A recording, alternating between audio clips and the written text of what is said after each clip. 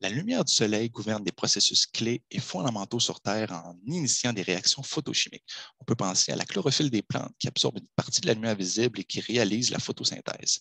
Dans mon projet, la matière organique ou MO des lacs peut être complètement dégradée et oxydée par l'effet de la radiation UV émise par le soleil. Et donc, cela a pour effet d'affecter le cycle du carbone complet du lac, étant donné que le carbone n'est plus sur la même forme, il est oxydé. Parallèlement, des réactions photochimiques peuvent libérer des gaz vers l'atmosphère. Et parmi ces gaz, on inclut le CO2, un gaz à effet de serre dont l'impact climatique est bien connu, mais également des molécules dont l'identité n'est plus ou moins bien connue et dont les conséquences sur la chimie atmosphérique le sont encore moins.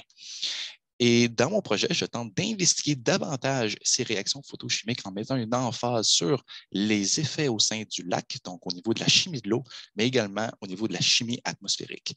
Et la stratégie employée pour y parvenir passe par le développement d'un montage expérimental qui permet l'analyse simultanée de la phase liquide et de la phase gazeuse.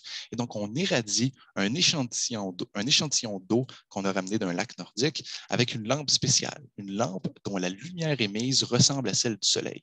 Et donc, ce faisant, on vient répliquer les conditions naturelles d'irradiation auxquelles les lacs sont exposés dans le Grand Nord.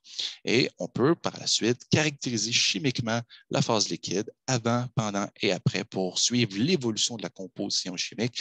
Et on peut également détecter avec spectrométrie de masse les molécules générées dans la phase gazeuse. Récemment, on a découvert la photoproduction d'acide acétique, de DMF, donc des molécules qui sont néfastes pour la santé humaine et potentiellement peuvent l'être pour, euh, le climat.